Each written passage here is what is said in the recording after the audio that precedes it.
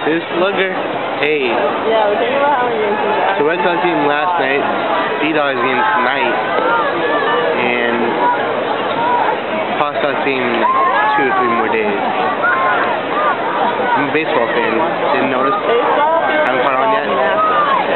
Enjoying myself like always.